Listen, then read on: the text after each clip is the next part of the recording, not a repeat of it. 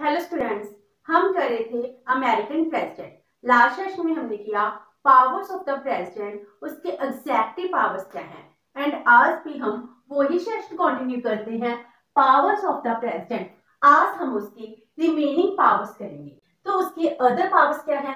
Executive power legislature power financial power judicial power and emergency powers तो इन सब powers से वो बहुत ज़्यादा पावरफुल बन जाता है, जो अमेरिका है। अमेरिका में जितनी भी पावर्स है, सभी की सभी पावर्स प्रेसिडेंट को नहीं दी गई हैं, क्योंकि वहाँ पर सेपरेशन ऑफ़ पावर उसका प्रिंसिपल का रूल चलता है। जब वहाँ पर जो एग्जेक्टिव पावर्स है, वो प्रेसिडेंट को दी गई है तो लेजिस्लेटिव पावर वो तो प्रेसिडेंट के पास है, वो कैसे है?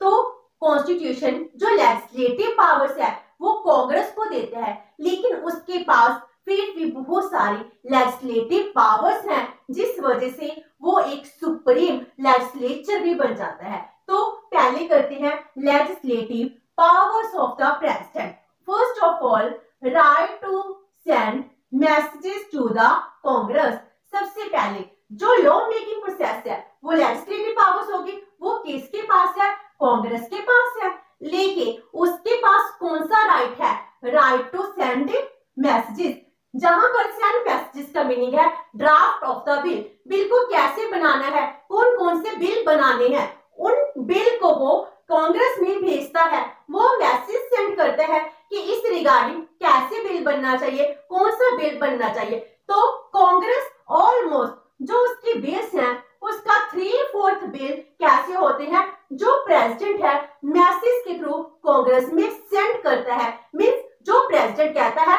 वैसे ही बिल कांग्रेस में बन जाते हैं। तो इनडायरेक्टली लेजिस्लेटिव पावर किसके हाथ में होगी?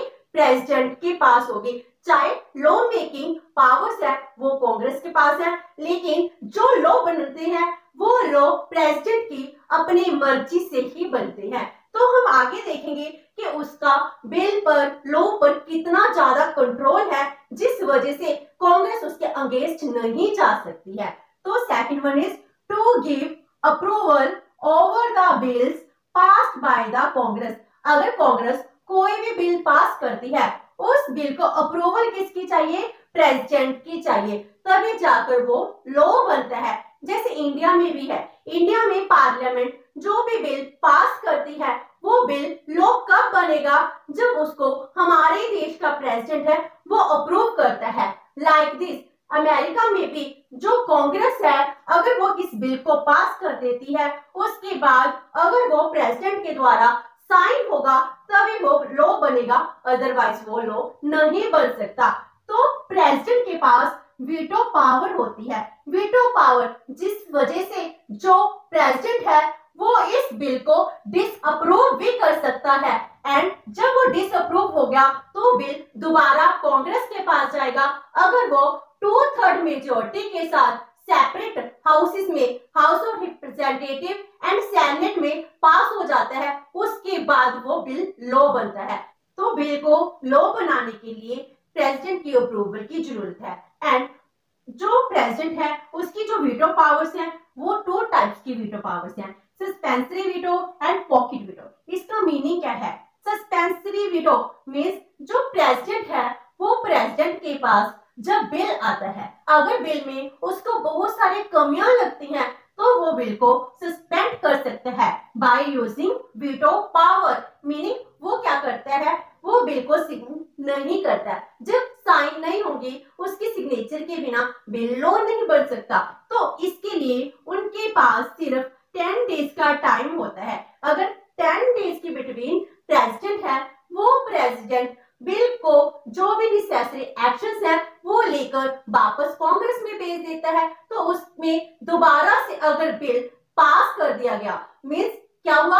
House of representative and senate दोबारा से टू थर्ड मेजोरिटी के साथ उस बिल को पास कर देती है तो वो बिल लॉ बन जाता है। उसके बाद प्रेसिडेंट के सिग्नेचर की ज़रूरत नहीं होती। जी कब होता है जब कांग्रेस सेशन में होती है। अगर कांग्रेस सेशन में ना हो तो फिर क्या होता है? उसके पास एक पॉकेट वीटो है। पॉकेट वीटो का मीनिंग क्या है? जब बिल लॉ बनता है तो टेन डेज़ के बिटवीन उनको साइन करने होंगे। अगर प्रेसिडेंट है प्रेसिडेंट को पता है, जो जे कांग्रेस है जे कांग्रेस टेन डेज़ से पहले ही इसका सेशन कंप्लीट हो जाएगा। तो वो जो बिल उसको अच्छे नहीं लगते, जिसमें कुछ कमियाँ रह जाती हैं, वो उनको साइन नहीं करता। मीनिंग वो क्या हो जाते हैं? वो उसको जो वेस्ट पेपर बास्केट होती है, उसमें थ्रो कर देता है। इसको यही कहा जाता है कि जो बिल उसको अच्छे लगते हैं, वो साइन हो जाते हैं। जो बिल नहीं अच्छे लगते, वो उन पर साइन नहीं करता, वो वेस्ट पेपर में चला जाता है। तो जब कांग्रेस दोबारा से सेशन में आएगी, दोबारा से बिल पास होगा, फिर जाकर उस पे लॉ बनेगा। तो पॉकेट वीटो और सस्पेंसरी वीटो बहुत से प्रेसिडेंट है, इस पावर को यूज़ करते हैं। इस तरह कांग्रेस के द्वारा जितने भी लॉ बनाए जाते हैं, उन पर वीटो पावर को यूज़ कर कर वो उनके बिल को लॉ नहीं बनने देते हैं। Next power to issue executive orders meaning क्या हुआ? जो एग्जेक्टिव ऑर्डर्स है, वो इशू कर सकते हैं। इसका मीनिंग है, जब कांग्रेस शासन में होती है तो उस टाइम उसके पास टाइम की कमी होती है। इस वजह वो क्या करती है? जो बिल है, बिल की सिर्फ़ आउटलाइनिंग कर देती है कि इसमें क्या क्या होना चाहिए। बाकी वो सभी पावर्स है, वो प्रेसिडेंट को दे देती है कि आप इस बिल को कंप्लीट लॉ में कन्वर्ट कर दो। तो इसका मीनिंग क्या हो गया? कांग्रेस है कांग्रेस ने अपनी पावर्स किसको डेलीगेट कर दी? टू द प्रेसिडेंट तो इसका मीनिंग हुआ, जो प्रेसिडेंट है, उसके पास लॉ मेकिंग पावर डेलीगेट होगी। तो इसीलिए जो प्रेसिडेंट है, इसको डेलीगेटेड लेजिस्लेटिव भी कहा जाता है। क्योंकि ऑलमोस्ट कांग्रेस हमेशा ही ऐसा करती है बिल के आउटलाइंस पास कर देती है, बाकी बिल, जो प्रेसिडेंट है, वो एग्जेक्टिव ऑर्डर देता है, और इस वजह से जो उनके ऑफिसर्स हैं, वो बिल को खुद ही फील करते हैं, क्या कुछ होना चाहिए? तो एग्जेक्टिव ऑर्डर इश्यू कर प्रेसिडेंट के पास लॉ मेकिंग पावर्स आ जाती हैं। Next is power to convene special session जब कांग्रेस का सेशन नहीं हो रहा होता तो उस टाइम स्पेशल सेशन कन्वीन किया जा सकता है। जब प्रेसिडेंट चाहे कि कांग्रेस का सेशन होना चाहिए तो उस टाइम जो प्रेसिडेंट है, वो कांग्रेस का सेशन भी समन कर सकता है। Like this power to adjourn the Congress जब कांग्रेस का सेशन चल रहा होता है तो कांग्रेस का सेशन है, उसको क्यों करना होता है मीन्स खत्म करना होता है वो कैसे होता है जब दोनों हाउसेस है Senate and House of Representative ये दोनों आपस में डिसाइड करते हैं कि सेशन को कब क्यों करना है अगर इन दोनों में कोई एग्रीमेंट नहीं होता। तो फिर क्या होता है? जो प्रेसिडेंट है, वो अपने आप ही एक डेट फिक्स करता है कि जो कांग्रेस का सेशन है, इसको कब एडजर्न करना है। तो ये सब लेजिस्लेटिव पावर प्रेसिडेंट के पास आ गई। तो प्रेसिडेंट है प्रेसिडेंट जितने भी असिस्टेंट करता है ड्राफ्ट बेस्ड है, वो पास हो जाते हैं। तो वो क्यों होता है? तो उसके पास कौन कौन सी मेथड्स हैं जिस वजह से वो कांग्रेस को इन्फ्लुएंस करता है?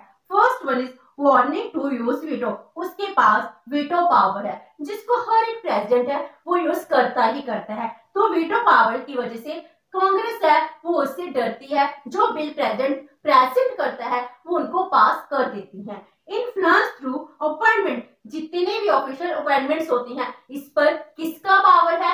Exclusive power of the president इसीलिए कांग्रेस जो लीडर्स होते हैं, जो मेंबर्स होते हैं, वो अपने नियर एंड डियर्स को हाई पोस्ट देने के लिए प्रेसिडेंट से जी गुजारिश करते हैं कि इसको आप हाई पोस्ट पर अपॉइंट कर लीजिए। तो उसके लिए ज़रूरी है कि वो प्रेसिडेंट की हर बात को माने influence through appointment next is legislation is the technical affair जो कांग्रेस के मेंबर्स होते हैं, वो टेक्निकली एक्सपर्ट नहीं होते। तो एडमिनिस्ट्रेटिव पावर किसके पास है? प्रेसिडेंट के पास है। सभी डिपार्टमेंट है, वो किसके अंडर आते हैं? प्रेसिडेंट के अंडर आते हैं। तो हर एक डिपार्टमेंट में कौन कौन सी बिल चाहिए, कैसे लॉ बनने चाहिए तो उस डिपार्टमेंट को नॉलेज होती है। लेजिस्लेशन टेक्निकल अफेयर बन चुकी है। इसीलिए जो लेजिस्लेटिव पावर है, वो प्रेसिडेंट को ही डेलीगेट की जाने लगी है।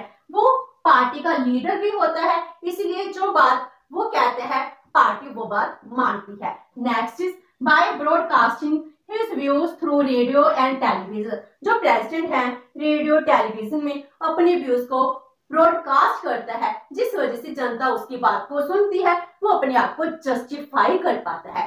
तो ये क्या होगी? Legislative powers of the president होगी। Next financial powers of the president जो प्रेसिडेंट है, इसके पास executive powers legislative powers financial powers judicial powers भी है। जो फाइनेंशियल पावर्स है मीन फिनांस के ऊपर कंट्रोल किसका है? फिनांस के ऊपर भी प्रेसिडेंट का ही कंट्रोल है। By the budget and accounting act 1921 से इससे जो फिनांस की पावर्स है, वो किसको मिल गई है? प्रेसिडेंट को दी गई है। तो इससे पहले प्रेसिडेंट के पास फाइनेंशियल पावर्स नहीं थी। अब जो बजट प्रिपेयर किया जाता है, वो under the supervision of the president ही किया जाता है। प्रेसिडेंट ही हर एक आइटम को इनकम को एक्सपेंडिचर को कंट्रोल करता है। प्रेसिडेंट की इन्फ्लुएंस की वजह से जो बजट है, वो कांग्रेस में पास भी हो जाता है। जो बजट है, वो कांग्रेस में पास होना ज़रूरी है। लेकिन वो पास कैसे हो जाता है? क्योंकि प्रेसिडेंट का इन्फ्लुएंस इतना ज़्यादा होता है कि कोई भी क्वेश्चन नहीं पूछता। प्रेसिडेंट जो कहता है, वो वैसे ही पास हो जाता है। तो जे फाइनेंशियल पावर्स किसके पास आ गई? प्रेसिडेंट के पास आ गई। Next judicial powers of the president president के पास बहुत सारी जुडिशियल पावर्स भी हैं। तो आर्टिकल टू सेक्शन टू जे के प्रोवाइड कराता है president shall have the power to grant reprieves and pardons for offenses against the United States except means इसको छोड़कर इन केस ऑफ़ इम्पीचमेंट अगर किसी के ऊपर इम्पीचमेंट का केस नहीं चल रहा, उसको छोड़कर बाकी सभी ऑफेंसेस में, चाहे कैपिटल पनिशमेंट भी हो, उसको भी वो माफ़ कर सकता है। वो किसी जो पनिशमेंट है, उसको इंक्रीज डिक्रीज कर सकता है। तो उसके पास बहुत ज़्यादा जुडिशियल पावर्स हैं। तो जैसे सुप्रीम कोर्ट ने कोई पनिशमेंट दे दी तो उसके बाद सिर्फ़ प्रेसिडेंट ही है जो किसी की पनिशमेंट को कम कर सकता है, चाहे माफ़ कर सकता है। तो जिसकी जुडिशियल पावर्स होगी। Next is emergency powers of the president जो प्रेसिडेंट है, इसकी कौन कौन सी इमरजेंसी पावर्स भी हैं? तो सबसे पहले अगर कंट्री में वॉर होगी तो वॉर डिक्लेयर कौन करता है? प्रेसिडेंट ही करता है। जब उसके पास कोई ऑप्शन नहीं है तो वो चाहता है कि अब हम इस कंट्री से वॉर करेंगे। तो इसका डेक्लेरेशन प्रेसिडेंट ही देता है कि वॉर डिक्लेयर होने वाली है। और उसके बाद declaration of emergency deployment of forces अगर फोर्सेस को डिप्लॉय करना है सप्रेशन ऑफ़ रिबेलेशन अगर किसी स्टेट में कोई वायलेंस हो रहा है रिबेलेशन हो रहा है, उसको सप्रेस करने का ऑर्डर कौन देता है? प्रेसिडेंट देता है। अगर वॉर हो रही है वॉर के बाद पीस को कंक्लूड करना है, जी किसकी पावर है? प्रेसिडेंट की पावर्स है। तो प्रेसिडेंट के पास बहुत सारी पावर्स होती है, जिस वजह से वो सच में ही पावरफुल बन चुका है। तो इसके लिए जो पोर्टर है, वो क्या कहते हैं? तो कहते हैं USA president is chief legislator chief executive and chief conductor of foreign policy in the American political system तो हम इनके वर्ड से कंक्लूड करते हैं कि जो प्रेसिडेंट है, वो ही सबसे ज़्यादा लेजिस्लेटिव पावर्स को एग्जेक्टिव पावर्स को फॉरेन पॉलिसी को डोमेस्टिक अफेयर्स को कंक्लूड करता है। सभी पावर उसके हाथ में है। तो प्रेसिडेंट है, बहुत ज़्यादा पावरफुल बन चुका है। तो आज हमने सेशन में प्रेसिडेंट की क्या क्या पावर्स है? इनको कंप्लीट किया। नेक्स्ट सेशन में करेंगे हम position of the president of America hope so कि आपको ये सेशन अच्छा लगा होगा। अगर आपकी कोई क्वेरी है तो post in the comment box and video अच्छी लगी तो please like and share with your friends thank you so much and have a nice day